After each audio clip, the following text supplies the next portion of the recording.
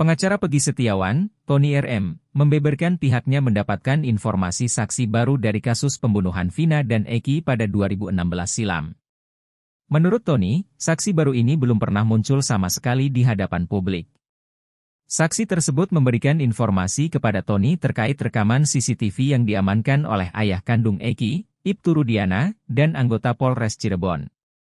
Pada Agustus 2016 silam, terdapat tujuh kamera CCTV yang tersebar di Jalan Perjuangan hingga flyover Talun. Sementara, jenazah Vina dan Eki pertama kali ditemukan di sekitar flyover Talun. Dari pengakuan saksi baru ini, Tony menyebut ada CCTV di flyover Talun dan jika itu dibuka maka akan terlihat siapa pelaku yang membuang jenazah Vina dan Eki. Lebih lanjut, Tony menyebut, saksi baru ini mengatakan kepadanya, Ibtu Rudiana dan rekannya lah yang mengamankan dua CCTV di lokasi kejadian. Diketahui, dua CCTV tersebut menghadap ke lokasi penemuan Vina dan Eki. Rekaman CCTV itu juga merekam secara jelas detik-detik sebelum jenazah Eki dan Vina ditemukan di atas flyover Talun.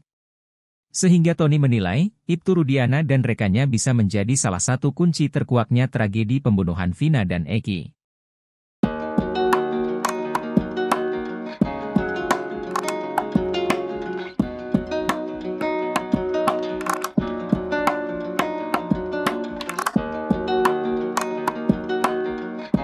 Download Tribun X sekarang.